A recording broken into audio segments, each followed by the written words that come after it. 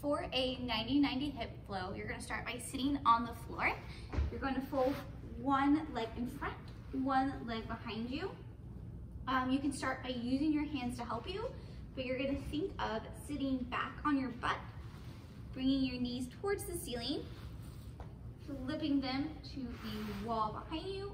You're just gonna take a little second to stretch forward, and then you're gonna repeat it. So you're gonna sit back on your butt, knees flip the ceiling, and then you're gonna flip here, stretch forward. If you want an extra challenge, you can bring your hands up. Without using your hands, you're gonna flip your knees up and over.